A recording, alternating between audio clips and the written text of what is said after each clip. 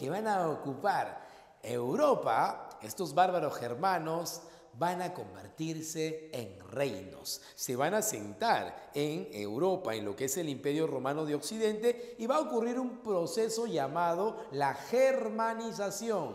Profe, ¿qué es la germanización? ¿Te acuerdas de la helenización? Ya lo mismo, pues, una, una fusión cultural entre los germanos y la cultura romana. Los germanos poco a poco van a ir asimilando la cultura romana. Por ejemplo, poco a poco se convierten al, cristia, al cristianismo. ¿Ves? El derecho romano basado en las leyes va a ir desapareciendo, ¿no? Pero poco a poco, luego nuevamente pues, luego, logran codificar algunas, algunas leyes. Estos reinos bárbaros van a convertirse y van a asimilar las los funcionarios, ¿no? la forma de administración que tenían los romanos en estos reinos. Bueno, así se va a dar una especie de fusión, eso es la germanización. Otra cosa, aparecen las lenguas, ¿no? las lenguas romances. Muy bien, vamos a ver. Avancemos. Reino visigodo. Los visigodos, pues hombre, coño, pues hombre, hostias, se van a establecer en Hispania. Tú sabes que Hispania es España. Bien, el reino visigodo va a ocupar Hispania con el rey Ataulfo. Vamos a colocar algunos reyes. El rey Ataulfo, mira, ocupa Hispania. Ocupó España. Hay que poner de frente. España. ¿ya? Ocupó España. El rey Ataulfo. Luego aparece otro rey. Mira, este rey se llama Teodoredo. Teodoredo. Profe, qué lindo nombre, Teodoredo. ¿Y qué hace Teodoredo? Teodoredo se convierte al cristianismo. Vamos a poner por acá. Es el primer rey cristianismo, el primer rey visigodo que se convierte al cristianismo. Profe, otro Recesvinto. Mira, recesvinto. Yo te dije que los germanos basaban eh, sus leyes en costumbre, el derecho consuetudinario. Mira recesvinto lo que va a hacer, va a crear el fuero, el fuero juzgo, el fuero juzgo Profe, ¿qué es eso? Es un conjunto de leyes, el fuero juzgo. ¿Ves? Mira, Ataulfo ocupa España, Teodoredo asume el cristianismo, Recesvinto crea el fuero, el fuero, el fuego, dice acá el fuero, vamos a poner acá el fuero juzgo. Pero en el siglo VIII pasa algo. Profe, ¿qué pasó?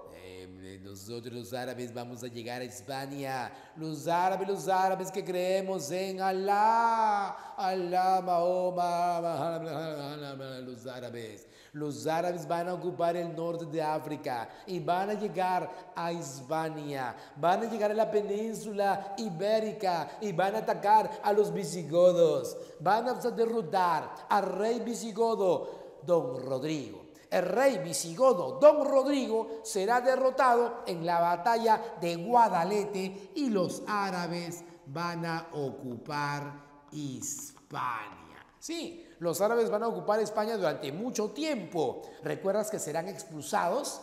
Por los reyes católicos mucho tiempo después. Muy bien, ahí está. Invasión de los árabes. Entonces le decimos chau al reino visigodo. Los árabes están en Hispania. Pasemos ahora a otro reino, el reino ostrogodo. Los ostrogodos expulsan a los érulos. Los érulos tomaron Roma. Luego llegan los ostrogodos y expulsan a los érulos y se van a establecer en Iberopanetone, Italia en Italia. Italia, ¿ves? Y aquí tenemos a un rey muy famoso que es Teodorico. El rey Teodorico, el jefe ilustre, el jefe más ilustre de todos los bárbaros. Teodorico el jefe más ilustre de todos los bárbaros, el más inteligente. Él, él va a plantear el respeto a los romanos y el respeto a los ostrogodos. Él decía, ostrogodos y romanos son hermanos. ¿Ven? Va a ser un gobierno muy interesante, el gobierno de Teodorico. El reino vándalo,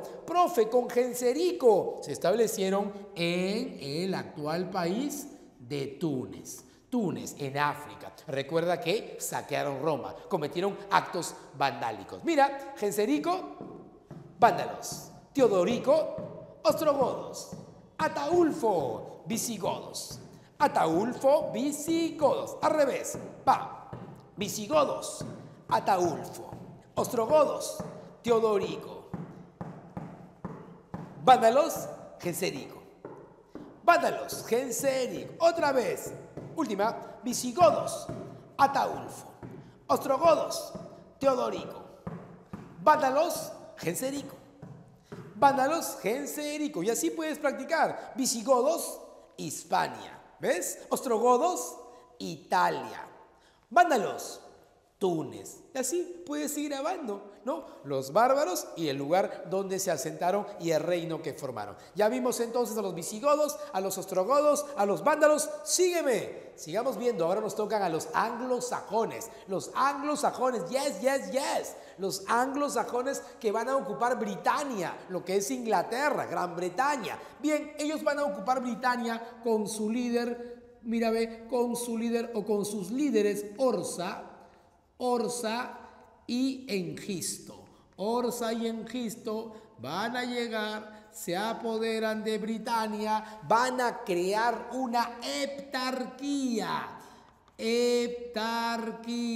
Profe, ¿qué es una heptarquía? Heptarquía, pues arquía gobierno, hep 7, gobierno de siete. Ah, van a crear siete reinos siete reinos independientes. Entonces en Inglaterra van a existir siete reinos anglosajones. Sí, siete reinos anglosajones, pero un hombre los va a unificar.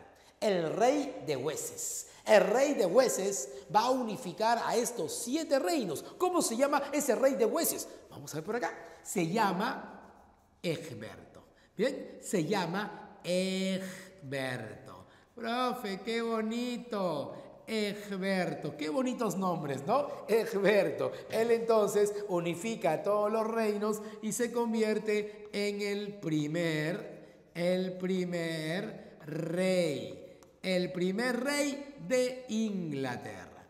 Primer rey de Inglaterra. ¿Ves? Así sale este nombre de Inglaterra. Anglo, Ingla, Inglaterra. Entonces ya sabes, ¿ah? Orsa y Cristo invadieron Britania, crearon siete reinos, una hectarquía, y el rey Egberto de Wessex unifica a todos los reinos y se convierte en el primer rey de Inglaterra. Yes, yes, yes. Pasamos entonces de los anglosajones, nos vamos a oui, oui, oui, Francia, el reino franco. Se establecen las Galias, lo que hoy es Francia. ¿Ves? Mira, con Clodión el Melenudo van a ocupar las Galias. No hay que olvidarnos de este nombre, las Galias. Hoy se llama Francia. Clodión el Melenudo entonces ocupa las Galias. Luego aparece otro gobernante, otro rey interesante. ¿Quién es?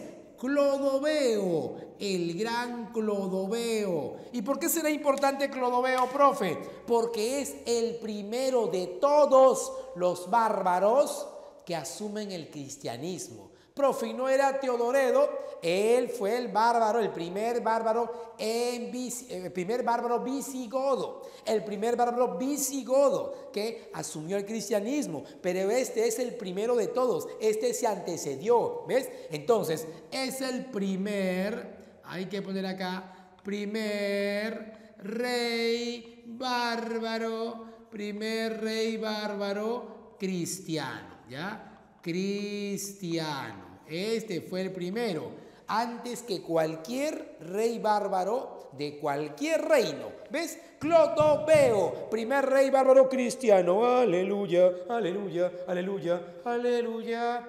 Luego aparecen una serie de reyes holgazanes, reyes vagos, recontra vagos, así como tú comprenderás. no, mentira. Reyes holgazanes no gobiernan, paran ahí tirados en sus camas, en banquetes, ¿no? disfrutando de la vida. ¿Sabes quiénes realmente se encargan de dirigir el gobierno? Sus ministros. ¿Y cómo se les llama a los ministros? Los mayordomos de palacio. El mayordomo, los mayordomos de palacio. Mayordomo tal, mayordomo tal. Ellos son los ministros. Así se llamaban. Bien, un ministro famoso o un mayordomo muy famoso será Carlos Martel. Recontra famoso. ¿Por qué? ¿Por qué? Acompáñame a ver. ¿Por qué Carlos Martel es recontra famoso?